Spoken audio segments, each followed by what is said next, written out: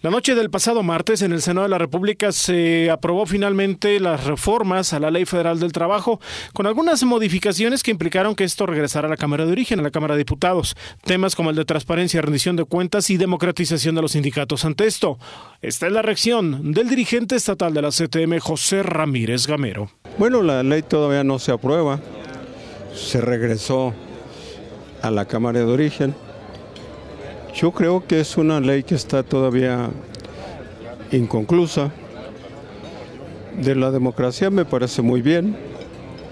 Nosotros en Durango la venimos practicando.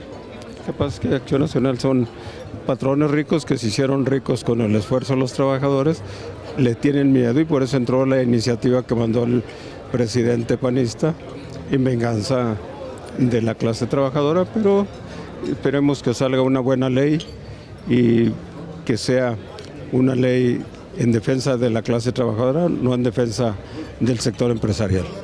Yo creo que es una ley que toda está inconclusa, no se va a congelar, va a salir, lo que se le va a quitar es la etapa preferente que se le dio en la Constitución a las iniciativas que presentara el presidente al inicio de la gestión de la Cámara de Diputados. Se va a analizar, y ojalá que salga una buena ley. De fondo, los temas de fondo entonces quedaron fuera en el debate que se dio en el Senado, señor. Yo creo que es una ley que está protegiendo más al empresario que al trabajador. Yo creo que debemos determinar con la flexibilización laboral que se dio con el pretexto de conseguir empleo los señores gobernadores y los gobiernos federales. Se debe de quitar la flexibilización para volver a tener la seguridad social y la capacidad de retiro cuando llegue la edad del trabajador